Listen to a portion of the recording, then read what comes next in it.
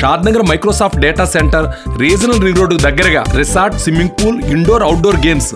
ఇలాంటి ఎన్నో సౌకర్యాలతో మన స్వర్గసీమ వారి Suketana DTCP approved layout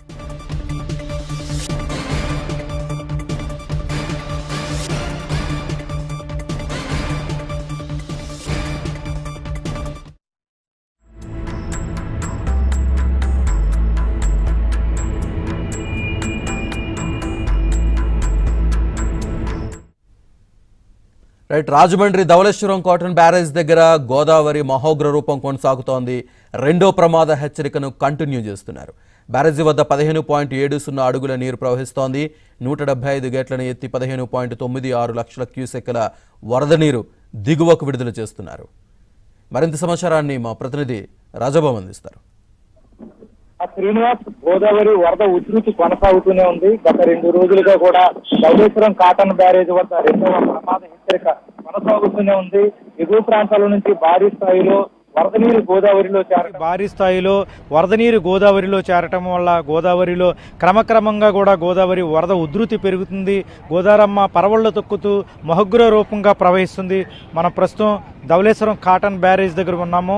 ఇక్కడ విజువల్స్లో చూడవచ్చు. గోదావరి ఉగ్రరూపం దవల్చి అఖండ గోదావరిగా ప్రవహిస్తున్న దృశ్యాలను కూడా మనం విజువల్స్లో చూడవచ్చు. గోదావరం పరవళ్ళు తొక్కుతూ ప్రవహిస్తుంది. ప్రస్తుతం ధవళేశ్వరం కాటన్ బ్యారేజీ వద్ద పదిహేను పాయింట్ ఏడు సున్నా అడుగుల వద్ద నీటి మట్టం కొనసాగుతుంది. దీంతో జలవనరుల శాఖ అధికారులు కాటన్ బ్యారేజీకి సంబంధించి నూట డెబ్బై ఐదు గేట్లను కూడా పూర్తిగా ఎత్తివేసి పదిహేను లక్షల తొంభై వేల క్యూసెక్కుల వరద నీటిని దిగువకు విడుదల చేస్తున్నారు. గత రెండు రోజులుగా కూడా గోదావరి ధవలేశ్వరం కాటన్ బ్యారేజీ వద్ద రెండవ ప్రమాద హెచ్చరిక కొనసాగుతుంది. అంటే మరో లక్ష చిక్కల వరద ప్రవాహం గనక ధవళేశ్వరం వద్ద పెరిగితే గనక మూడవ ప్రమాద హెచ్చరికను కూడా జారీ చేసే అవకాశం ఉంటుంది. ప్రస్తుతం ఎగువ ప్రాంతాల నుంచి భారీ స్థాయిలో వరద నీరు చేరటం వల్ల ఈ రోజు సాయంత్రానికి ధవళేశ్వరం కాట్న బ్యారేజీ వద్ద వరద ఉధృతి మరింత పెరిగే అవకాశం ఉందని కూడా జలవనరుల శాఖ అధికారులు అంచనా వేస్తున్నారు. ప్రస్తుతం ప- పదిహేను లక్షల తొంభై వేల క్యూసెక్ల నీటిని దిగువకు విడుదల చేస్తున్నారు. పదిహేడు లక్షల క్యూసెక్ల వరద ప్రవాహం గనక ఇక్కడికి వస్తే గనక మూడవ ప్రమాద హెచ్చరికను జారీ చేసే అవకాశం ఉంటుంది. ఇప్పటికే రెవెన్యూ జలవనరుల శాఖ అధికారులు కూడా అప్రమత్తమయ్యారు.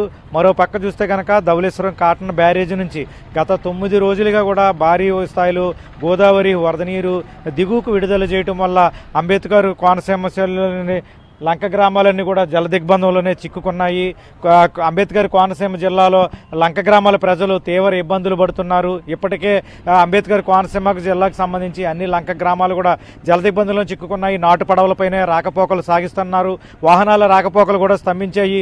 ఈ రోజు సాయంత్రం గోదావరి వరద ఉధృతి మరే పెరిగి పెరంత పెరిగే అవకాశం ఉన్న నేపథ్యంలో అంబేద్కర్ కోనసీమ జిల్లాలోని లంక గ్రామాలు భయాందోళనకు గురవుతున్నారు. ఇది శ్రీనివాస్ ధవలేశ్వరం కాటన్ బ్యారేజ్ వద్ద గోదావరి ఉగ్రరూపం దాల్చి పొంగి ప్రవహిస్తున్న పరిస్థితి. Right thank you Rajubabu